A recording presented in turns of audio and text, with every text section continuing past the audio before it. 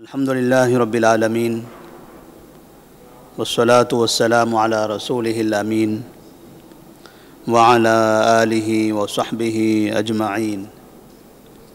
ومن تبعهم بإحسان إلى يوم الدين أما بعد. فأعوذ بالله من الشيطان الرجيم بسم الله الرحمن الرحيم. ألم نشرح لك صدرك؟ ووضعنا عنك وزرك الذي أنقذ ظهرك ورفعنا لك ذكرك فإن مع العسر يسرا، إن مع العسر يسرا. فإذا فرغت فانصب وإلى ربك فارغب. سیرت النبی صلی اللہ علیہ وسلم کے سلسلے دروس میں آج کے درس کا عنوان ہوگا، خندق کی کھدائی میں شام اور عراق کی خوشخبری۔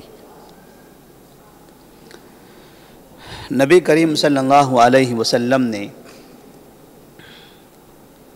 صحابہ رضی اللہ تعالیٰ عنہم کے ساتھ مکے کے دس ہزار کی فوج کو مدینہ میں داخل ہونے سے روکنے کے لیے مدینہ کے شمالی حصے میں نارتھ کے علاقے میں جہاں کی زمین ہموار تھی، جہاں سے مکہ کی فوج مدینہ میں داخل ہو سکتی تھی۔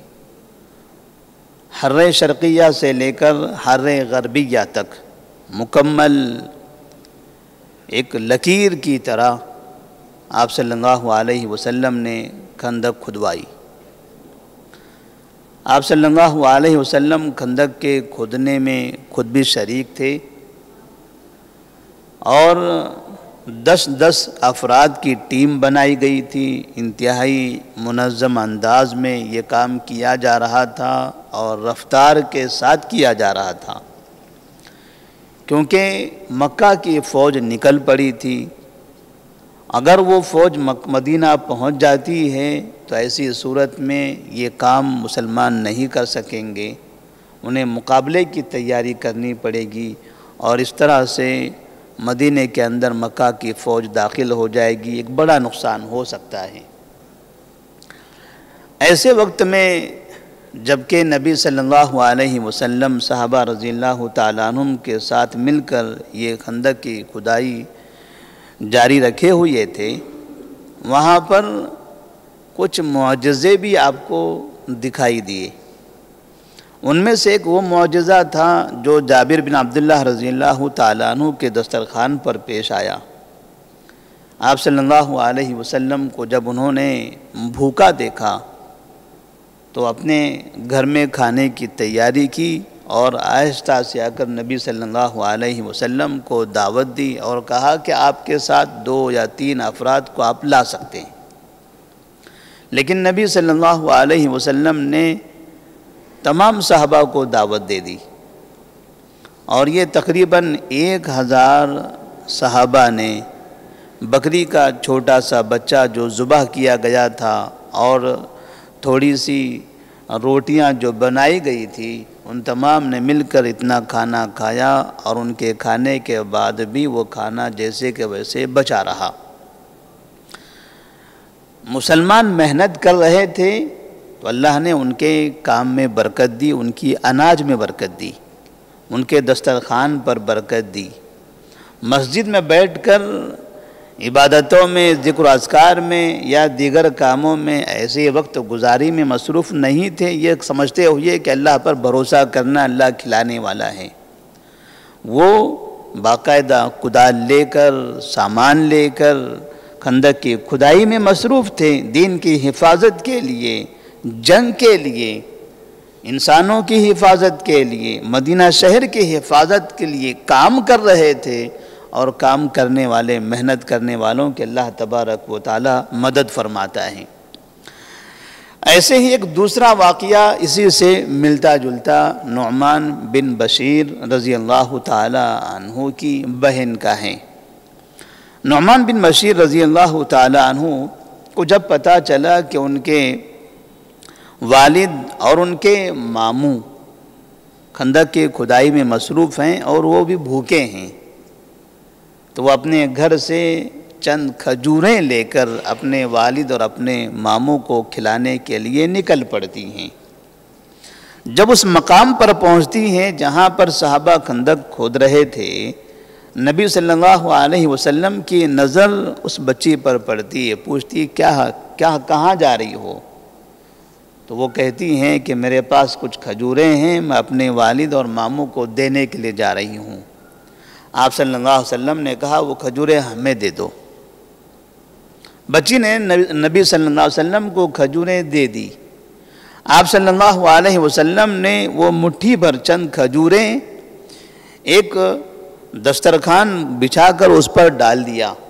اور صحابہ رضی اللہ تعالیٰ عنہم کو آواز دی، آئیے، سب کو کھجوریں کھانے کی دعوت ہے۔ یہاں پر بھی تقریباً ایک ہزار کی تعداد میں صحابہ رضی اللہ تعالیٰ عنہم دسترخوان پر پہنچتے ہیں اور وہ مٹھی بھر کھجوریں کھاتے ہیں، پھر بھی کھجوریں جیسے کہ ویسے باقی رہتی ہیں۔ ایک دوسرا یہ معجزہ تھا جو دسترخوان پر پیش آیا تھا۔ یہ تو معجزہ کھانے سے متعلق تھا۔ چونکہ مسلمان بھوکے تھے، بھوک اور پیاس کی شدت میں یہ دین کا کام کر رہے تھے۔ مقصد کیا تھا ان کا؟ ان کا مقصد صرف یہ کھدائی یا ان کا مقصد اپنی جان کو بچانا مدینہ کی حفاظت کرنا، یہی نہیں تھا۔ ان کا جو اصل مقصد تھا وہ تھا دین کی حفاظت۔ اس لیے کہ کفار مکہ دس ہزار کا، دس ہزار کی فوج لے کر انسانوں کا قتل کرنے کے لیے نہیں آ رہے تھے، بلکہ وہ مسلمانوں کا خاتمہ کرنے کے لیے آ رہے تھے۔ وہ کسی انسان سے دشمنی، کسی قبیلے سے، شہر سے دشمنی کی بنا پر ان پر چڑھائی نہیں کرنا چاہتے تھے، بلکہ وہ اسلام کو جڑ سے ختم کرنے کے لیے آ رہے تھے۔ تو اللہ تبارک و تعالیٰ نے ایسی صورت میں نبی کریم صلی اللہ علیہ وسلم کو ایک دوسرا معجزہ عطا فرمایا۔ جب لوگ کھندق کھود رہے تھے، تو جابر بن عبداللہ رضی اللہ تعالیٰ عنہ کی ایک روایت ہے، اور اسی طرح سے برا بن عازب رضی اللہ تعالیٰ عنہ کی بھی روایت ہے کہ کھندق کی کھدائی کے درمیان میں زمین کے اندر الگ الگ چیزیں نکلتی ہیں۔ تو ایسے ہی وہاں ایک بڑا سا پتھر نکلا۔ اب اس پتھر کو توڑنے کی ضرورت تھی، کیونکہ بڑا پتھر گڑھے میں موجود ہو تو ادھر سے ادھر آدمی کو آنے جانے میں آسانی ہوگی۔ ضروری تھا کہ پتھر کو مکمل طور پر ختم کر دیا جائے، اس کو ریزہ ریزہ کر دیا جائے۔ صحابہ رضی اللہ تعالیٰ عنہم اپنے کدال سے پتھر پر مار رہے تھے، لیکن صرف وہاں سے آواز آ رہی تھی، پتھر ٹوٹنے کا نام نہیں لیتا تھا۔ بڑی کوششیں کی، کئی صحابہ نے اپنی طاقت آزمائی۔ آخر نبی صلی اللہ علیہ وسلم کے پاس آ کر انہوں نے شکایت کی، یا رسول اللہ صلی اللہ علیہ وسلم، ہمارے سامنے ایک ایک امتحان آ کھڑا ہے۔ ایک ایسی آزمائش آئی ہوئی ہے۔ کام کر رہے ہیں، لیکن یہاں پر ہمارے کام میں ایک رکاوٹ کھڑی ہو گئی ہے۔ آپ صلی اللہ علیہ وسلم نے جب حالات کی جانکاری لی تو کہا، چلیے وہاں میں اترتا ہوں۔ آپ نے کدال لیا، اس گڑے میں اترے اور پتھر کے قریب کھڑے رہ کر آپ نے بسم اللہ کہہ کر زور سے پتھر پر کدال مارا۔ تو پتھر کا ایک حصہ ٹوٹ گیا۔ ایک حصہ ٹوٹ گیا۔ اور پھر جیسے ہی وہ حصہ ٹوٹتا ہے، وہاں سے ایک ایک بجلی کی طرح ایک ایک روشنی چمکتی ہے۔ اور آپ صلی اللہ علیہ وسلم فرماتے ہیں، اللہ اکبر۔ اعطیت مفاتیح الشام. واللہ انی لانظر قصورها الحمر الساعة. اللہ اکبر اللہ اکبر. یہ جملہ آپ صلی اللہ علیہ وسلم تعجب کے طور پر اور ہولناکی کی کوئی چیز دیکھتے ہوئے یا کسی بڑی خوشی کی بات سننے کے یا دیکھنے کے بعد کہا کرتے تھے۔ آپ صلی اللہ علیہ وسلم نے فرمایا، اللہ اکبر، اعطیت مفاتیح الشام، واللہ انی لانظر قصورها الحمر الساعة اس وقت مجھے، میں ملک شام کے سرخ محل دیکھ رہا ہوں۔ اللہ تبارک و تعالیٰ نے مجھے شام کی چابیاں عطا کر دی۔ نبی کریم صلی اللہ علیہ وسلم جب آپ کدال مارتے ہیں، اس سے جو روشنی پھوٹتی ہے اس میں آپ صلی اللہ علیہ وسلم کو ملک شام کی چابیاں دکھائی دیتی ہیں اور وہ سرخ محل نظر آتے ہیں، جس سے آپ صلی اللہ علیہ وسلم صحابہ رضی اللہ تعالیٰ عنہم سے کہتے ہیں، مجھے اس کی فتح کی خوشخبری سنا دی گئی۔ مجھے یہ بتا دیا گیا کہ یہ سرخ محل جو قیصر کے، قیصر بادشاہوں کے ماتحت رہتے ہیں یہ سب آپ کے قدموں کے نیچے آنے والے ہیں۔ پھر آپ صلی اللہ علیہ وسلم دوبارہ کدال اس پتھر پر بسم اللہ کہتے ہوئے مارتے ہیں۔ تو اسی طرح سے پتھر کا ایک اور حصہ اس سے ٹوٹ کر گر جاتا ہے، اس سے بھی روشنی نکلتی ہے۔ اور پھر آپ کہتے ہیں، اللہ اکبر اعتیت فارس۔ واللہ انی الابصر قصر المدائن الابیض الان۔ مجھے ملک فارس بھی عطا کر دیا گیا اور میں مدائن کے سفید محل دیکھ رہا ہوں۔ ملک فارس عراق میں، چونکہ عراق فارسی علاقہ تھا۔ ایک زمانے میں ابھی عربی علاقہ جانا جاتا ہے، لیکن یہ اصل عرب نہیں ہے۔ پہلے یہاں پر فارسی حکومت ہوا کرتی تھی، قوم وہاں فارسی تھی۔ ملک عراق اور ایران وغیرہ کا پورا علاقہ ان کے ماتحت ہوتا تھا۔ اس طرح سے نبی کریم صلی اللہ علیہ وسلم کو اللہ تبارک و تعالیٰ نے یہاں پر ملک فارس کی فتح کی خوشخبری سنا دی، دکھا دی۔ تیسری مرتبہ آپ صلی اللہ علیہ وسلم نے پھر بسم اللہ کہہ کر اپنا کدال اس پتھر پر مارا تو پتھر ریزہ ریزہ ہو گیا۔ مکمل طور پہ وہ پتھر ختم ہو گیا۔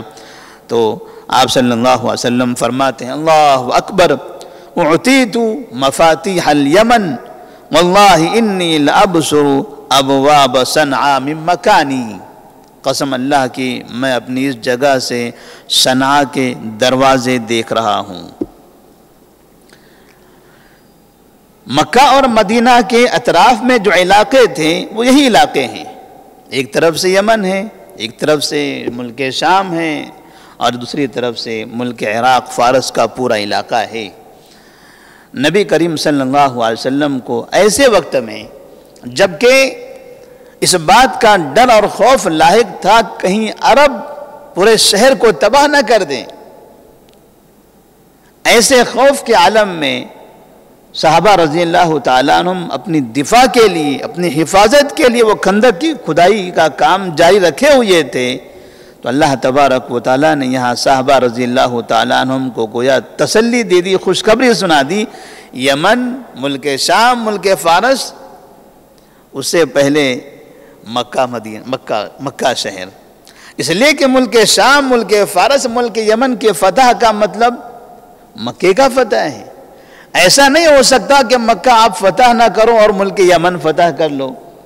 ایسا نہیں ہو سکتا کہ مکے والوں سے آپ کامیاب نہ ہو جاؤ اور ملک شام اور عراق پر چڑھائی کر بیٹھو۔ یہ ممکن نہیں ہے۔ اس کا مطلب وہ دور کے علاقے کی فتح کی خوشخبری کا مطلب ہے، یہ تو ایسے ہی پاس کر لے جاؤ گے۔ اس کا تو کوئی شمار ہی نہیں ہے۔ یہ تو بہت قریب ہے، بہت آسان ہے۔ اس سے بڑی بڑی جو طاقتیں ہیں، قیصر و کسرا کی جو بادشاہتیں ہیں، جو پوری دنیا کے اندر ان کی توتی بولتی ہیں وہ علاقے بھی آپ کے ماتحت آنے والے ہیں، آپ ان کے لیے پریشان نہ ہوں۔ اس طرح سے صحابہ رضی اللہ تعالیٰ عنہم کو یہاں پر یہ تسلی دے دی گئی، یہ خوشخبری دے دی گئی۔ اللہ تبارک و تعالیٰ فرماتے ہیں، فَإِنَّ مَا الْعُسْرِ يُسْرَا۔ إِنَّ مَا الْعُسْرِ يُسْرَا۔ یہ پریشانی، یہ شدت، یہ تکلیف اس کے پیچھے بہت بڑی فتح کی خوشخبریاں آنے والی ہے۔ تو نبی کریم صلی اللہ علیہ وسلم کا زمانہ گزر گیا۔ سن چودہ ہجری اور سن پندرہ ہجری۔ یعنی آپ صلی اللہ علیہ وسلم کے انتقال کے تین سال بعد یا پھر چار سال بعد۔ گیارہ ہجری میں آپ صلی اللہ علیہ وسلم کا انتقال ہوتا ہے اور پھر چودہ ہجری تین سال، چار سال کے بعد یا پھر پانچ سال کے بعد؟ آپ کے انتقال کے چار پانچ سال کے درمیان میں اللہ تبارک و تعالیٰ نے ملک شام، ملک عراق فتح کر دیا۔ چودہ اور پندرہ ہجری میں مسلمانوں کے خلیفہ عمر فاروق رضی اللہ تعالیٰ عنہ تھے۔ سن تیرہ ہجری تک ابو بکر صدیق رضی اللہ تعالیٰ عنہ کی حکومت ختم ہو گئی تھی، ان کا انتقال ہو چکا تھا۔ سن تیرہ ہجری میں عمر فاروق رضی اللہ تعالیٰ عنہ خلیفہ بنے تیرہ سے لے کر تیئیس تک ہجری تک، دس سال۔